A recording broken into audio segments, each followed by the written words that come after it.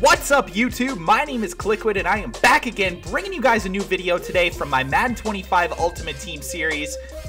As you can see, we are currently sitting at 7-0 in the rookie second string division. Again, guys, this is my first time playing Madden 25 Ultimate Team.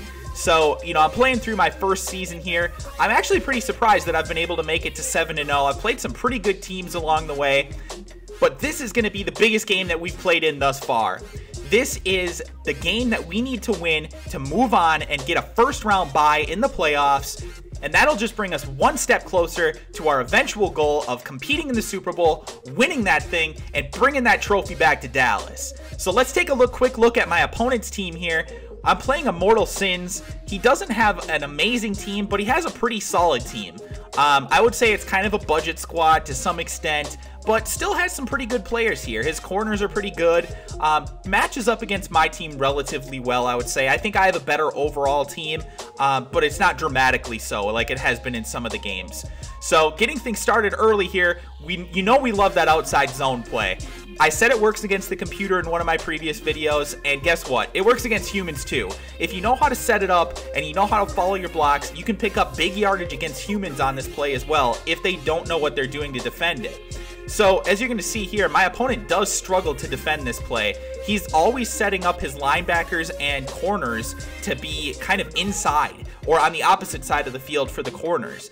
And that leaves me the opportunity to make big plays. And right here, we hit him with the read option here. Again, we've got QB Walter with 100 speed now with my plus two Trindon Holliday on the field and my plus two Jim Schwartz card. So both Chris Johnson and Walter Payton are now 100 speed, which just makes this read option almost undefendable. Hit him with the, the outside zone one more time, step into the end zone to make it 7-0 early in this game. In addition to going up 7-0, you can see there Terrence Knighton, his best defensive tackle, will miss quote-unquote the rest of the season. He'll have to use an injury card, in other words, to get him back on the field. Uh, very first play for my opponent, though, he breaks off a huge run, 47 yards, had me worried. I'm not even going to lie. When I saw that happen, I was like, oh no, not this. But thankfully, he was not so good at passing, as you can see there, scrambling around, trying to make plays on the run with his quarterback. Uh, hits me again here with another short run, but it's fourth and six now. And uh, my opponent apparently decided that he needs to go for it this early in the game. He's going to try and make sure that I don't go up two scores. Takes off with his quarterback, fires it down the field, but Deion Sanders, the newest addition to this team. I haven't updated you guys too much with my team, but Deion Sanders, I do have the 98 Deion Sanders card now. And while I really did love having Alterraun Verner on the field, it's just not a comparison. Deion is just an amazing cornerback in this game.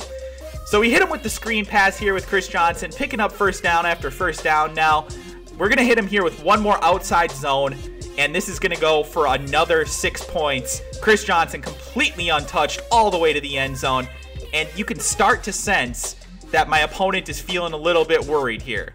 He is definitely not looking to go down three scores, but he doesn't know what to do. He can't really move the ball on offense. Not that my team has a particularly amazing defense, but we're just locking down his receivers and he can't find anybody down the field. He's looking for the big play, and it's not going to happen there. Dominique Rodgers Cromartie with the interception. He's going to bring this thing all the way back to about the three yard line, and you know what's going to happen from there, guys.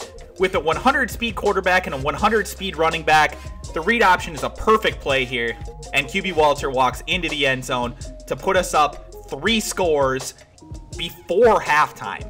Now, the game is definitely not over at this point, but he's got to score here before halftime. He cannot go down into the half down three scores. There's just no way. And he's trying to do big plays here. He's trying to look to gain big yardage, but it just isn't happening. My defense is too good for him. And it is now fourth down with only 15 seconds left in the half. I'm assuming that he's going to go deep here. And so I drop my players back. I'm running that simple two-man under. And I actually almost made a mistake there by intercepting that ball. That would have been bad. Thankfully, Verner apparently stepped out of bounds on the interception, and it gave me better field position because it was fourth down, like I said.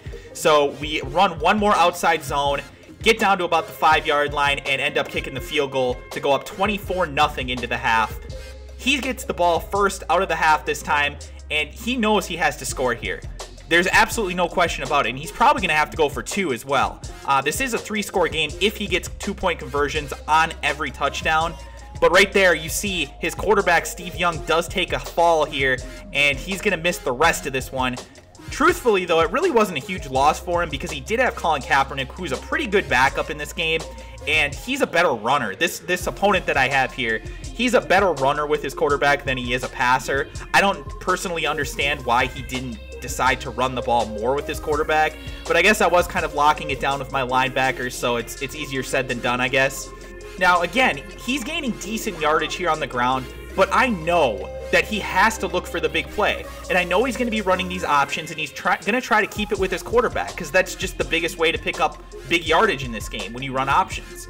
So I'm willing to give him these small chunks of yardage here if he wants to take them because he just doesn't have enough time. He's going to have to score three times and prevent me from scoring any touchdowns. So I'm pretty much dropping my defense back at this point and just not letting him get the big play.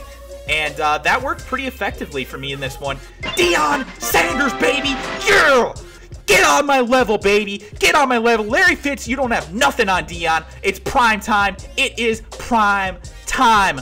And that's going to do it in this game. My opponent had had enough. He quit the game.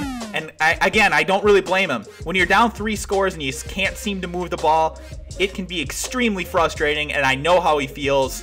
Thankfully, though, I am able to get that first round bye we are moving right past that wild card round and into the divisional round, so that's great. And uh, the next video, guys, will be that divisional round playoff game, and we're also going to have that special 100,000 coin plus six card giveaway. So if you guys haven't entered that, check out my previous video. I'll put the link in the description below. I'm also going to put it as an annotation here. So check out that video. Thank you guys for watching this. I really do appreciate it. You guys are awesome. If you would please leave a like on this video, I'd really appreciate it. If you could leave a comment and, and subscribe to my channel as well, that would be even better. Thank you guys so much for all the support, though. I really do appreciate it. And I will talk to you beautiful bitches again soon.